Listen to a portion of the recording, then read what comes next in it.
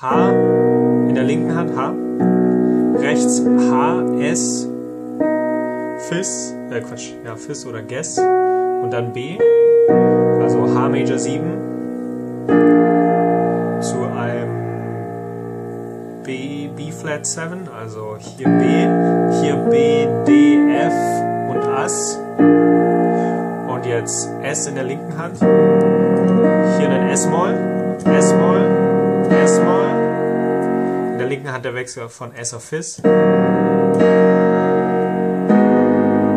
Der Akkord ist Ass, H, S und Guess. Und wieder zum zweiten Akkord, was eine B, D, F und Ass ist. Und wieder zurück zum ersten. Und dann vom Timing, wie gesagt, 1, 2, 3, 4. 1, 2, 3, 4. 1,